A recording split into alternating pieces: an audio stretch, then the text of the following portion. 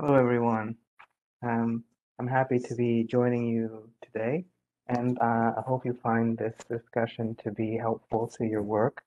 Um, I would say I did recognize one or two names um, of people who attended a similar workshop that I participated in not that long ago. So apologies to you all if these stories are very familiar um, if it seems a little bit repetitive. I'll try to sprinkle in some additional details, maybe some jokes, to make the story seem uh, more interesting or compelling uh, this time.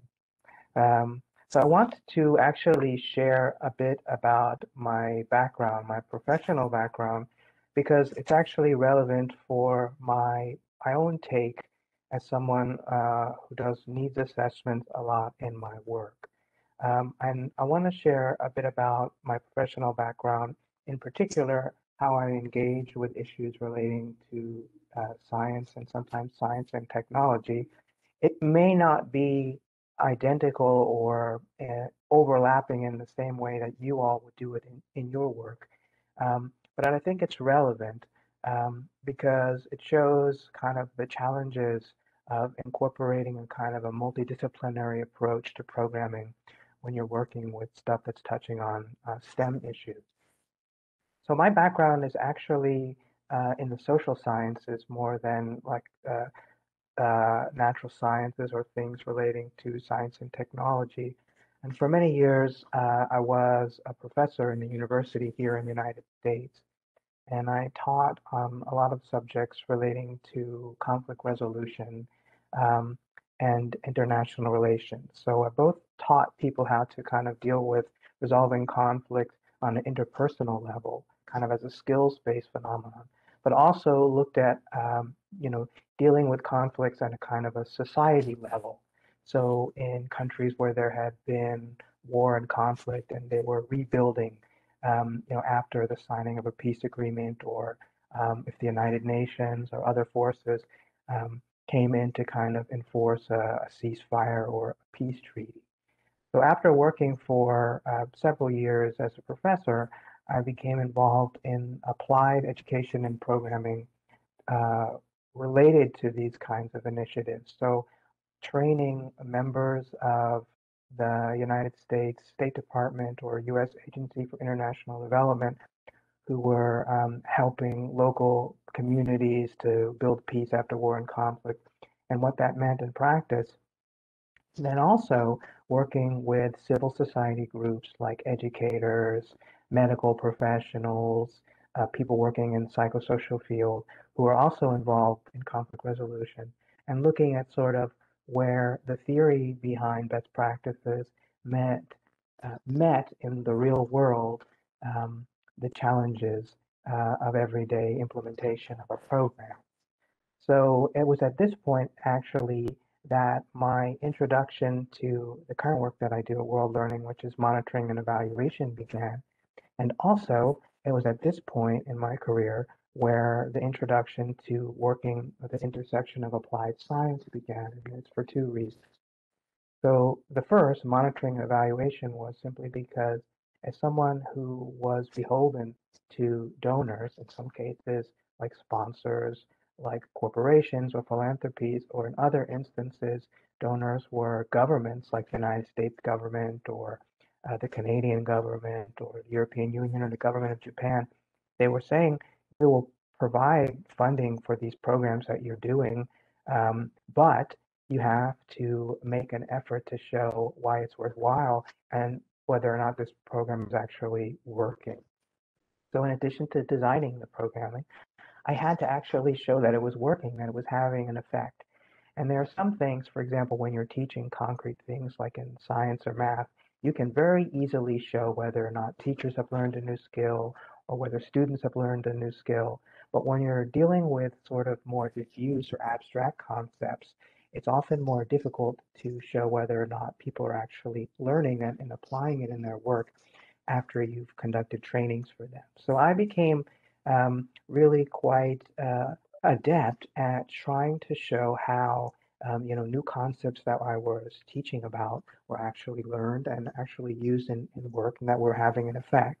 So that kind of began my introduction to monitoring and evaluation.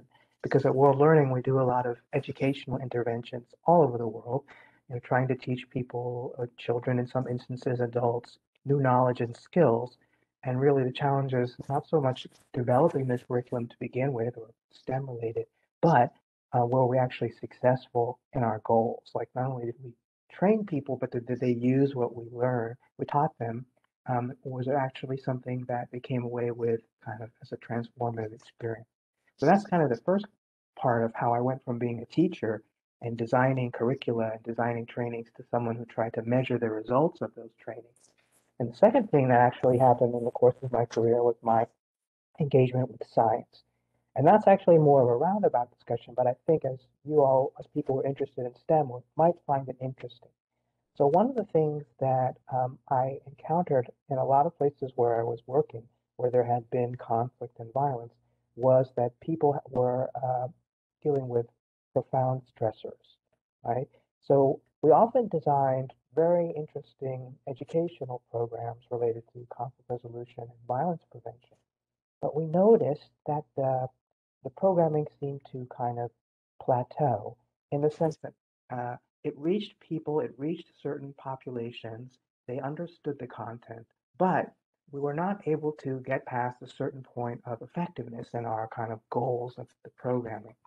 And one of the things that I was really interested in is why, if we've developed sort of cutting edge programming and training, we've developed ways to train trainers, we've developed ways for different youth, uh, different people from different ages to understand and apply the concepts, why would it plateau? I'm using that term like to talk about a hill. Like, why is it that at, at a certain point people aren't learning and in fact the outcomes are diminishing? And that kind of led me to science. And so here's where my, my background kind of overlaps with Dr. Abdelaziz, who spoke earlier, and I became really interested in cognitive neuroscience and also what's called the neurobiology of stress. So basically understanding our brains and how we learn and what's going on in the learning process, and also what's the relationship between the mind and the body when people are under profound stress and how that might affect learning outcomes. And the reason I was thinking about these issues is because I was working in countries where there was war and conflict, where there was people were under a lot of stress. And one of the things that I had looked at, kind of evidence-based approaches, kind of science-based approaches, was to see that like it is natural when people are under profound stress that their ability to learn new things and apply new skills would be diminished or be affected.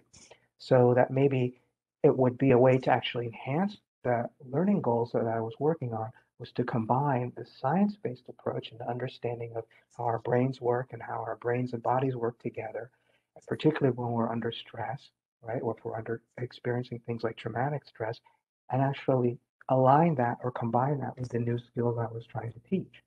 So I'm happy to say that I was successful after several years of study and applied learning. We were able to do that to kind of bring these two things together. Um, and it was a real challenge because, on the one hand, it meant bringing people together to learn about STEM related concepts and also bring people together in an educational context uh, to do applied learning and a way to kind of synchronize or align those things and still measure results to see that, that we were effective. So that is sort of like my introduction to kind of like developing things as an educator, um, you know, doing, doing applied learning, uh, trying to measure results, and then also to try to bring in cutting edge concepts from science and technology, all in a way that made sense to people. And in my case, where people were uh, in, in, under profound stress and so had difficulties learning. So, like, I want to actually kind of use all of this, my own my background experience, to kind of uh, as an introduction to the idea of needs assessment and you know why that's important. Um, because I learned the hard way so to speak. I mean, we made a lot of how what we had uh, was a steep learning curve in the sense that like made some errors um, doing needs assessment, and because I made those errors, I kind of learned what to do and what not to do. So let me kind of kind of share that with a kind of a sense of humility as we kind of start the discussion about you know what are needs assessment and how that might relate to STEM. So Haley, if you could advance the next slide, please.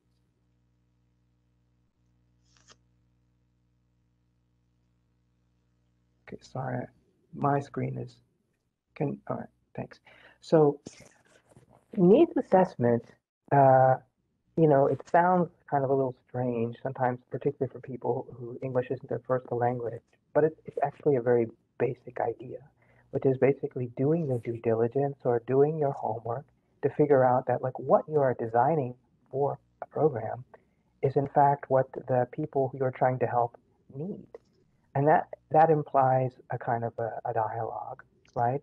And applies, uh, um, implies that you are uh, committed to um, uh, inclusive practices where you're reaching out to people in a kind of a, a spirit of, of good nature and equality and saying to them, you know, I'm coming in with someone with uh, expert knowledge and skills that I'd like to teach you, but I'm coming in also with a, a desire as to speak with you as an equal and not just someone who's going to tell you what to do, right?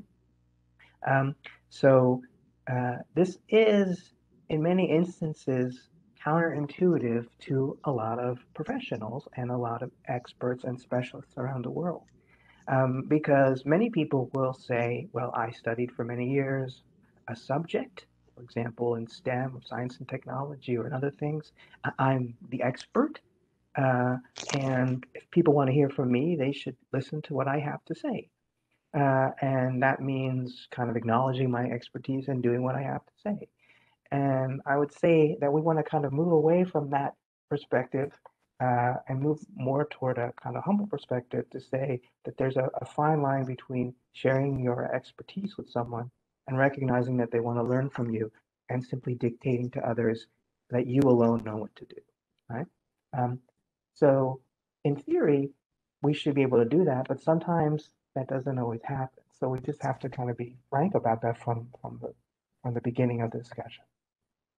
So this means that when we're setting up something like a STEM center or setting up any applied programming for people, that we need to involve the stakeholders in the process, right? And sometimes it's a very basic question. It's saying like, hi, we uh, were told that in your community you'd be interested in setting up a STEM center. Is that the case, right? Um, were the people that we spoke to uh, accurately representing the community? Um, and is it the case that you want our help?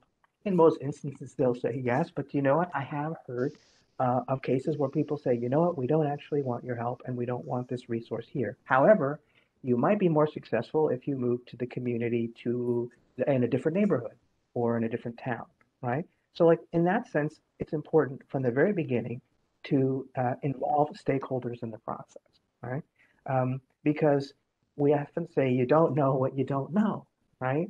Um, and you have that technical knowledge, right? But we have to think about the other things that are important, which are the the experiences of the people in the community and the knowledge of what is best fitted for their community, right? So you want to involve the stakeholders in the process.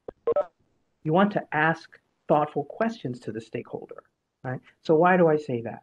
Well, I have known of instances where some people have said, okay, we'll involve the stakeholders in the process, but it is really a very superficial way of involving them, right? So it's basically kind of, I use this analogy of parachuting in, right? Saying like you've kind of arrive out of the blue from the plane, right? So come in outside the community, just show up one day and say like, okay, uh, I'm involving you in the process to set up this STEM center, and here's our questions. Do you do you know how to do this? Yes or no? You know, do you have people that teach about science and technology? Yes or no? You know, do you have the uh, resources for us to set up a, a, STEM center, like a building? You know, uh, do you have Wi-Fi cap capabilities? Like, do people have access to technology that they can use? You know, tablet devices, computers? Yes or no? Right. So you know, a survey in which you ask people this kind of information is important. It's important in, in getting information about the practical things that would be needed to set up something like a STEM center. But it's not necessarily thoughtful questions if it's just sort of a binary process where you're asking them yes or no, and you're just kind of viewing them instrumentally as providing you information you need to do something, but you're not viewing them as a partner right?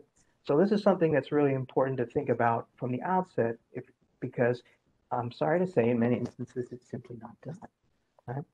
And so, like, this relates to kind of the last point that I have, which is saying once you've asked thoughtful questions of the stakeholders, the people that you're you're working with, you're using their answers and their knowledge, right, and their resources in your efforts to help them, right?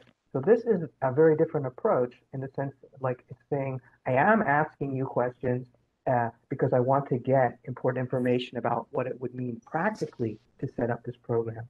But I'm I'm doing it from a point of view where I recognize that I'm your partner, and I ultimately you know your community better than my than I do, and so maybe uh, while I have maybe technical expertise about setting up one of these programs, there's a lot of things that I don't know and that I don't know that I don't know, meaning kind of from a larger point of view that I haven't even thought about, right? Which are really important, right? So I'll give kind of two examples uh, where things happened to me uh, professionally or uh, kind of a personal story, but I think is really significant um, because there is a, sometimes a kind of a prejudice around science and around issues related to STEM to sort of think like STEM is really awesome, STEM is really great. Um, you know, science-based approaches to education are cutting edge and are extremely important, right? But um, and all those things are true, right? But the needs assessment and the kind of approaching people on the basis of equal is equally important, right? So we can't sort of take the uh, the misnomer or the false idea that just because it's STEM based that we can do whatever we want, right? Because um, you know that would be um, that would be a real error, right? It would be an error in terms of best practices, and it would and it would be probably an error ethically as well. So I will give kind of one example where there was just a total needs assessment failure, right? Um, on a, on a program that I was involved with, and then kind of a case where I was shocked to hear about it coming from uh, an expert. So about three years ago, I was invited to Ottawa, the capital of Canada, for uh, an expert training. So as I told you, I'm, I work a lot on uh, violence prevention issues, and uh, the host of the, the conference invited people from all over the world to come to Ottawa for uh, three days for an expert training. And their thinking was if we identify people from all over the world and we bring them in for this training and we give them this new knowledge, which is in many instances informed by technology that we've developed, and we train them in them, we give them new school, we give them new skills, new tools, then they can go back to their homes all around the world and we've done our job perfectly, right? And so like the assessment that they did was to identify the professionals from around the world who would benefit from the new curriculum that they designed, bring them to Canada for three days, and then do the training. So, like from a logistical point of view, that was a lot because they had to identify people, write them, uh, buy plane tickets for them to fly, get lodging for them, and then house them in a hotel conference center for three days, and you know do workshops do the training. So in that sense, their needs assessment was really excellent because they identified principles, they identified how to get them to Canada, they developed a toolkit for people, right? Which they did, they tested and they developed things for people to take home with them. But in execution, they, they made major mistakes. Why?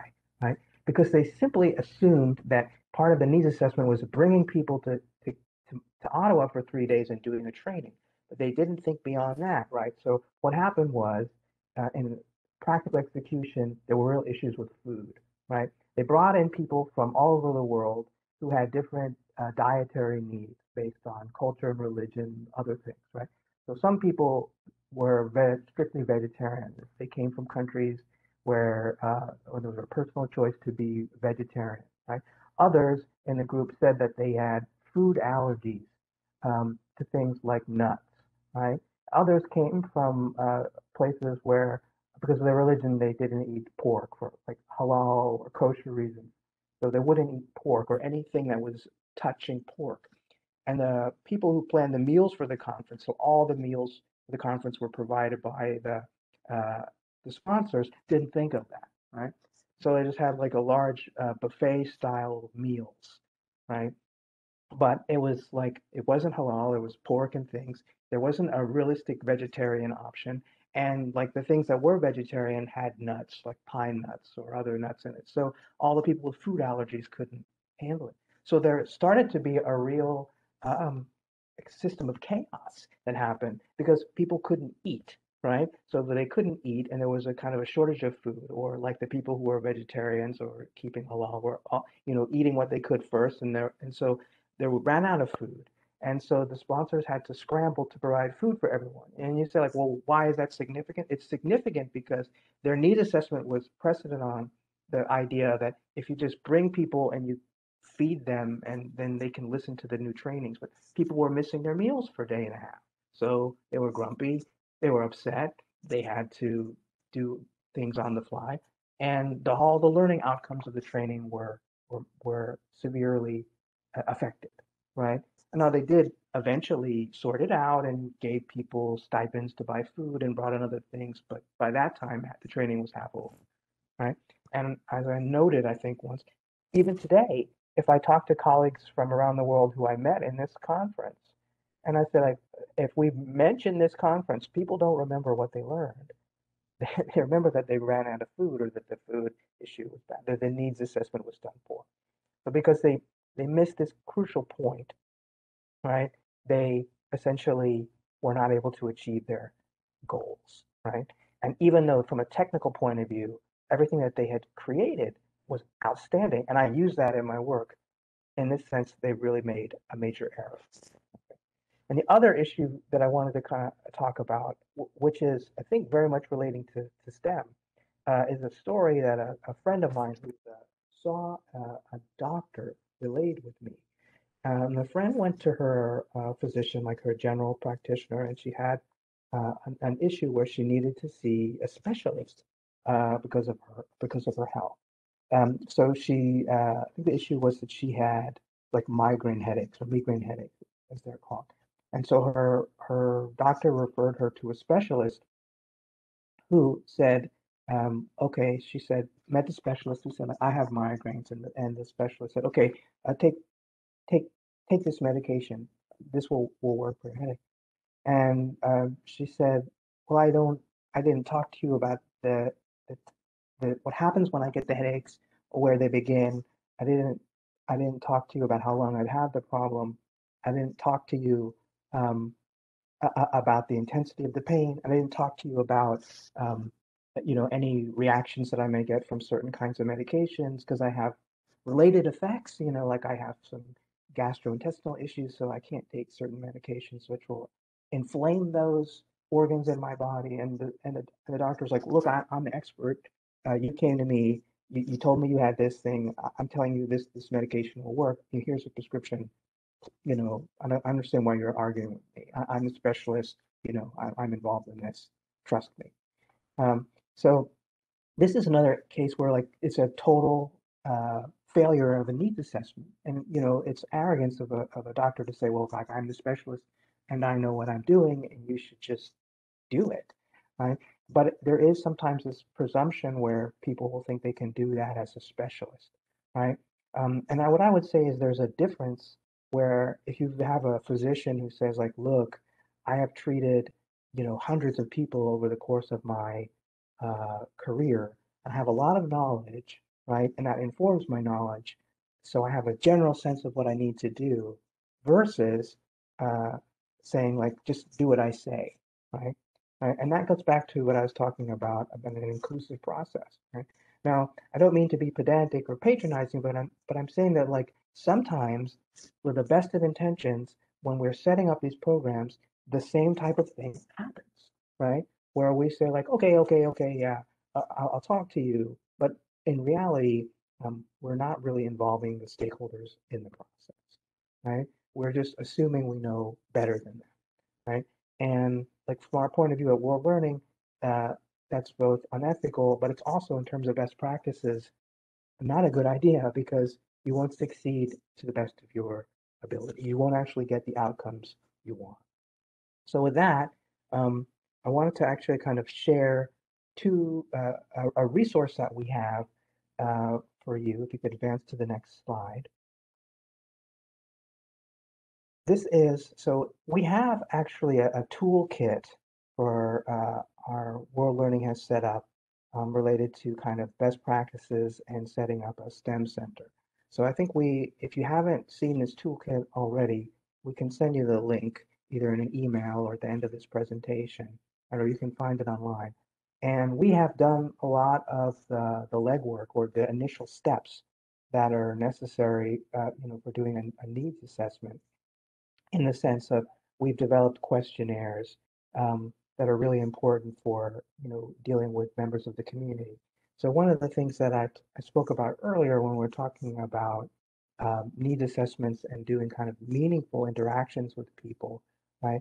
It's like you can develop questionnaires, but you can also, it's very important to have uh, open-ended questions, right? So in the sense that you ask people specific questions about what they need, but you're also giving them the space to provide answers which when you haven't touched upon the important things in your in your question. So we actually have examples of needs assessments in this toolkit which you might use, right? One is, for example, working with youth or younger people about what they think they might need in terms of a STEM center and what, what would be resources and knowledge that they need. And there's another questionnaire that's there for dealing with uh, people who are older in the community. So that could either be the parents of the youth that you're working with or with other learned adults in the community. So it could be teachers, school administrators like headmasters, principals, or other really key stakeholders in the community who you want to talk to. So we designed um, uh, the needs assessment questionnaires in a way that's uh, recommended. So I would say you could use that as a template as a beginning point and then customize it and tailor it to your own community, community where you might be working with. But another uh, tool that we um, use and that we uh, we recommend is, is, this, and it's called a SWOT analysis. Now, SWOT is an acronym um, but this is, and that stands for strengths, weaknesses, opportunities, and threats. And SWOT analysis is actually an interesting tool because it was developed uh, by businesses, right? So a lot of people who are involved in uh, setting up new businesses, or even people who are um, venture capitalists, for example, people who want to provide uh, funding for a startup initiative, like a tech startup, or for example, a lot of the global tech centers in the world, they they'll get venture capital, like to set up a new initiative uh, to do something. So when when people in the business community are interested in doing a needs assessment, in addition to kind of asking the thoughtful questions which we talked about, they often do the SWOT analysis. And it's helpful because it's this grid, right? So you actually kind of use this uh, grid and you write your answers in the grid and you can look at your responses side by side and do a comparative analysis. I have done it in some instances with work that I was doing, um, particularly when I had to do a rapid startup of something, right? So if you're doing something and you have a very limited time to really think about a needs assessment, like 30 days, a SWOT analysis is helpful to kind of, if you, to get all the information on one page and look at it and process it. So at the top half of the grid, we see on the left side, it says internal origin, right? So what internal origin means is basically those are the things that are relating to you or your organization that are conducting the needs assessment, right? So you as an individual, your partners, your colleagues, right? Those are that are those are things that are um, that you are bringing to the equation. You are bringing to the situation that you need to think about yourself, yourself being in a, in a collective sense as well. So when we see strengths, the S in the acronym, it says helpful to achieving the objective. So you basically identify what are all the things that you bring to the needs assessment of setting up a STEM center that are helpful, right? Um, so in some instances, that's you know the technical expertise, right? Knowledge of how to do it, the reputation of having done it in other contexts, um, having a reputation of professional excellence, even if you've never done it before. But what are those things that you bring that when other people hear about it are a strength, a major strength, right? It could be things like you're trusted, right? You're you're a known a known commodity, a known actor in a community. It could be things like if they do an internet search about you or your colleagues, they will find favorable things. So those are all things that you you identify about yourself, um, which is going to frame um, you know your needs assessment. Uh, and the next part of the grid, you see W for weaknesses, and it says harmful to achieving your objectives. So those are things that you have to have an honest conversation um, with yourself and your colleagues about things that, that, that you have attributes that may actually undermine or bring great difficulty to conducting a needs assessment, In my case, a lot of the work that I did um, internationally as well as in the United States, in my own country, the harmful things were being perceived as, a, as an outsider, right? So in some instances, people very much respected uh, the technical expertise that I had or my willingness to help. But in other instances, being an outsider, someone from outside the community, was a deterrent, uh, was something that people uh, viewed somewhat distrustful, right? You have to be honest with yourself because that allows you to identify things that might particularly remedy that weakness. So, like if I know that I'm an outsider, then I will partner with someone internally to give me credibility, right? For example, like that. So that's precisely what I have to do, you know, to give someone to uh, what we call a gatekeeper, to someone to open the doors to members of the community to you, right? But you could identify anything, right? Um, so, and that is really important to have an honest conversation, uh, really with yourself or your team about what what are things that are hindrances. You know, so. So at the lower part of the grid, we see uh, O and T, opportunities and threats, and we see that it says external origin. So those are factors really relating to the community that you're working with or the environment that you're working with that you don't much control, um, but can very much affect the success of your initiative, right? So opportunities usually means, right, that people want your help, that people are interested in partnering with you, that they recognize the value of what you're doing, um, that people in some instances may have have written to you beforehand, I've reached out to you or your organization and asked for your help. That's really a very important. Uh, other things are it could be in, you could be investing your time in a community where there's broad interest in STEM, uh, in a country or community where you know the people are known to be interested so they would be very much receptive to the message, right? So those are things that you have to identify. You can't just assume that people love STEM and they want to work with you, but if you know after doing some information gathering that they are, then you can, you know, uh, say that that's an opportunity. Now, what is a threat, right?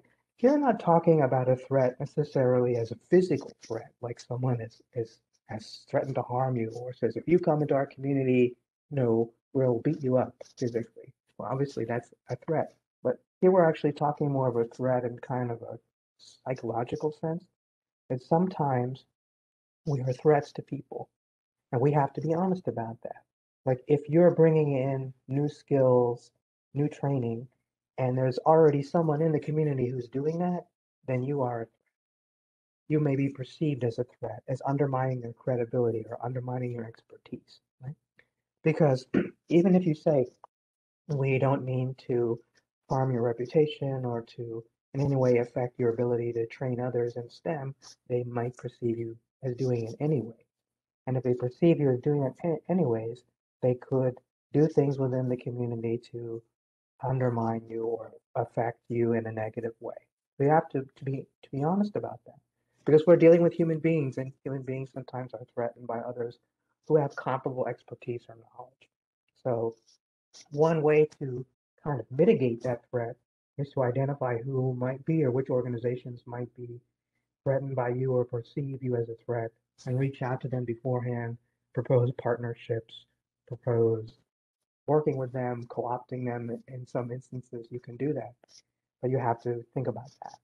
So in my own work, I have found that in resource poor communities where there's usually one group, school, uh, private sector person who primarily dominates the market or service providing activity, this is common and you have to uh, plan for that.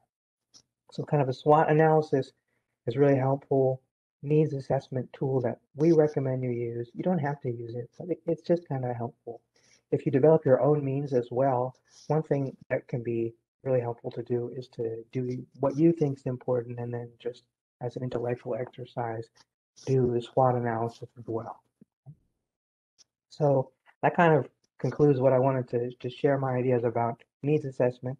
Uh, I wanted to open up to uh, questions. Uh, I have some questions for you if, if you're all feeling shy, but I just figured to start, uh, you know, opening up questions to you first.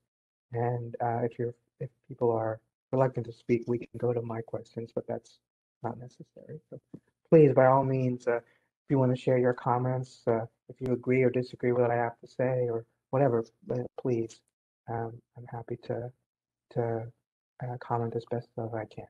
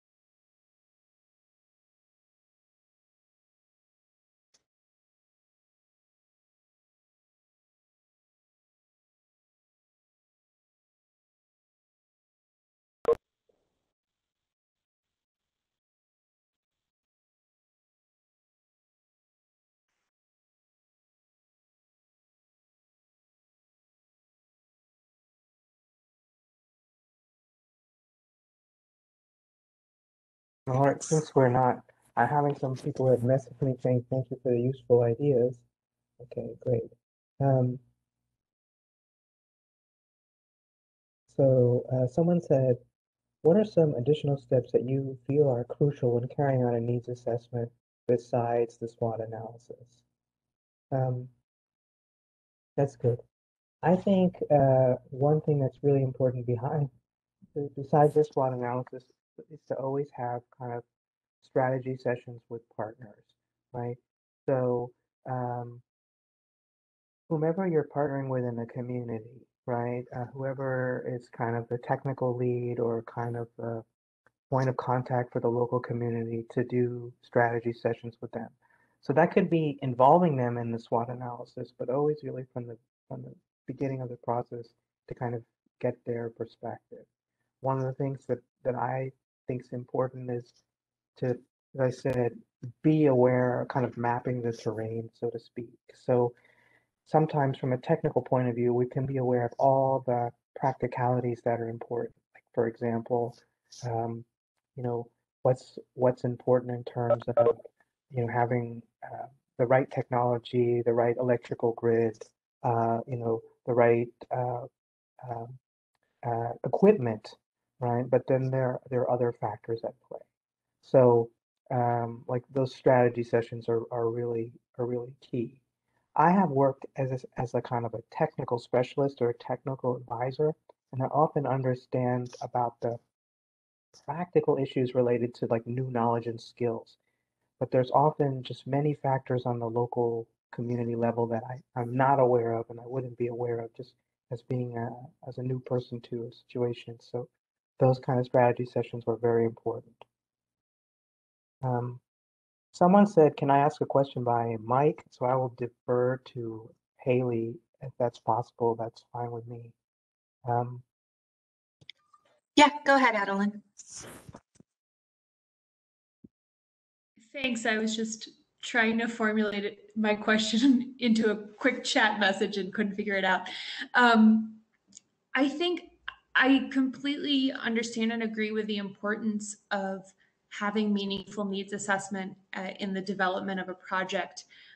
I think, as I see it, one challenge is that if a project is truly new, um, the the potential stakeholders don't necessarily know you so well and it takes quite a lot of time to give meaningful feedback about what your needs are so i'm curious about if you have any comments or tips about um, getting people to fill out uh, or or or to enter take the time to have that conversation with you or fill out a detailed survey or something like that because it does take quite a lot of investment. And if you're just newly starting a program they don't necessarily know what they might get out of filling out that information or what the what the return might be on that.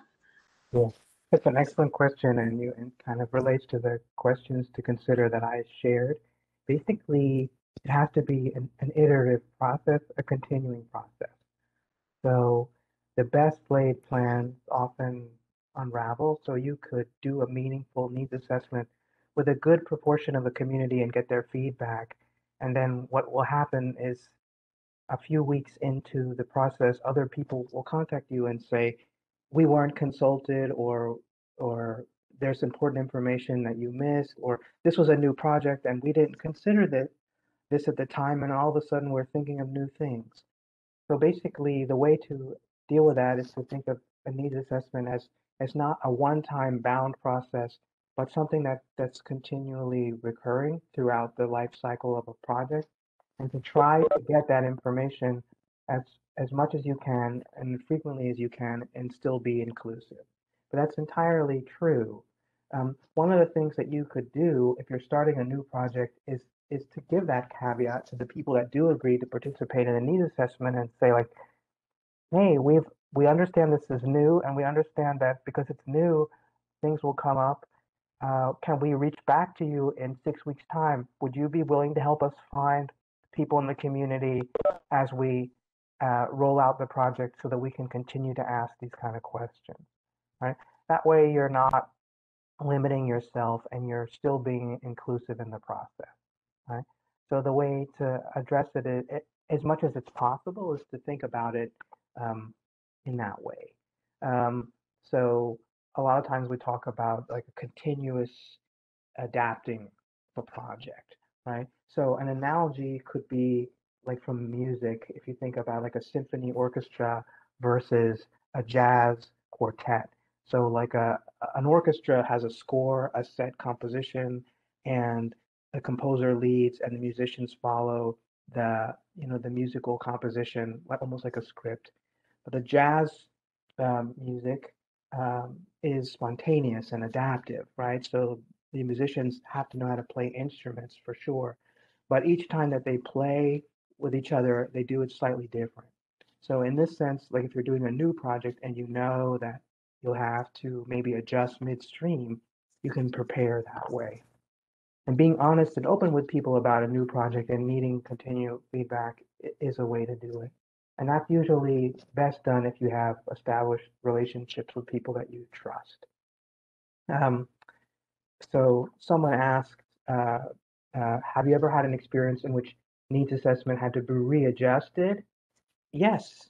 Uh, um, I was involved in a large project which had to be readjusted three times because it was a pilot program using new knowledge and skills that had never been applied in the country before. Uh, and so since we planned that we would have to adjust, we used a methodology called a developmental evaluation, uh, which is basically how do you do series of needs assessments over the course of a project to adjust, right? So like that's the way um, you know that we did it. Um, so someone asked, said needs assessment is a political term, um, you know, uh, and that's absolutely true. Um, you know, some, yeah. So sometimes someone will say, uh, you know, who are, you know, who, who's who's determining the need? Is it the community? Is it the trainer?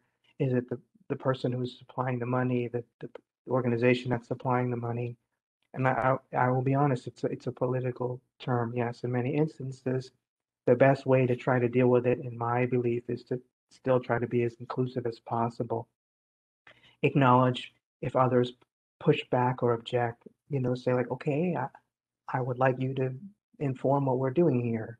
Uh, and eh, but I mean that's a that's a reality. Um, if you are uh, if you are working in a kind of a large complex project and the, the donor is, uh, you know, government or an international organization or a company or philanthropy, they, they will usually expect you to do something like this, but you should endeavor to be as inclusive, inclusive as possible. I find that in most instances, if you try, there's goodwill toward you. And most importantly, if you try to do this, if the people you're trying to help identify a major gap or a major flaw or a major problem, they will come to you with enough time so that you can address it and adapt accordingly. Any other questions?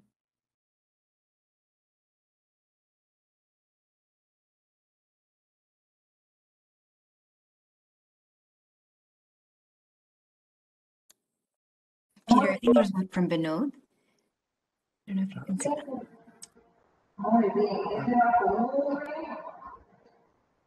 Sorry. I'm not able to hear. There's an echo. Sorry.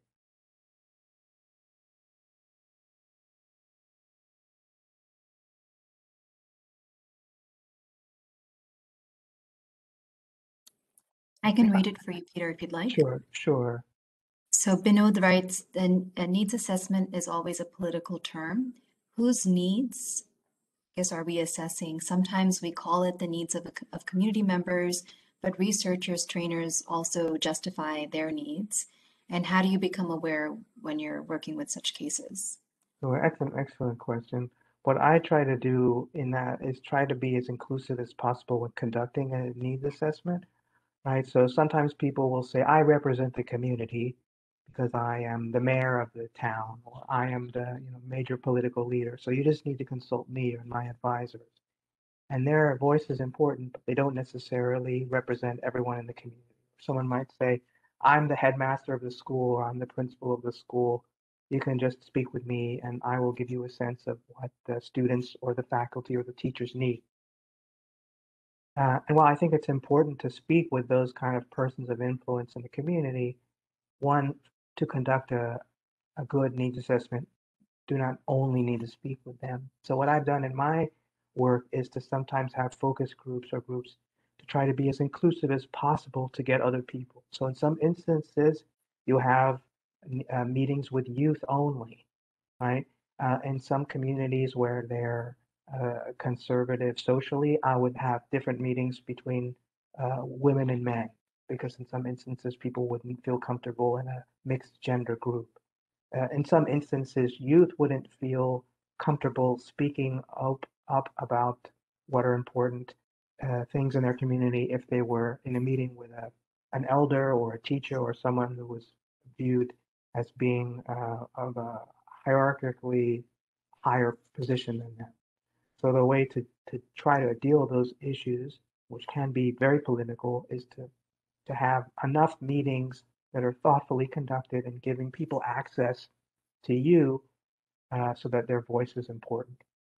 If you are uh, doing building a STEM center in a marginalized community, a resource poor community, right, where people don't have access to a lot of uh, material things, including technology, uh, you would have to think about how you go to them to get their input. For example, if you're using a, a web-based survey, right, and you're expecting people to fill out a web-based survey, and, and they don't have the functionality to do that, they don't have a, a smart device or a smartphone, then you would need to go to communities where, you know, like you're bringing laptops or you're bringing uh, iPads and saying, here, you know, please fill out the survey here. Or we're meeting at the library at the school, and if you come at this time, you know, we can uh, you know, meet with you personally, or you can have access to this um, technology to answer the, the survey results or participate in a in a virtual discussion. Right. So the presumption in a lot of instances about being inclusive is just like if you if you make a web survey or if you hold something online that people will have access to it but they but many instances they don't uh, so you, if you realize that you're trying to reach people who you know don't have access either to technology or other things then you need to go to them right you need to like have meetings in their communities right um, you know not just say like oh you know come to this uh, you know, this building in the, in the, in the center of town or come to this hotel where, where we're meeting in the conference room. If you know that people don't have the means to do that, then you would have to uh, think about having satellite meeting, so to speak, in their community.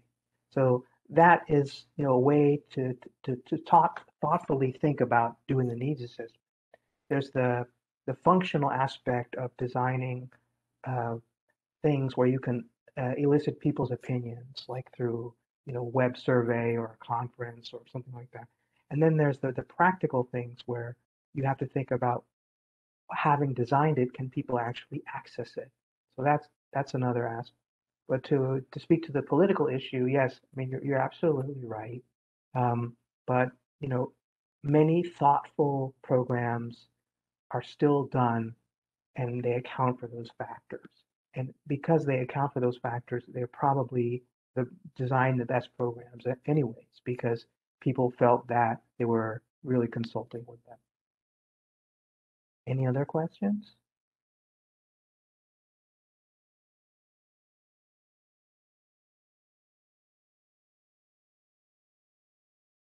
Well, uh, thanks for your time and for listening to me.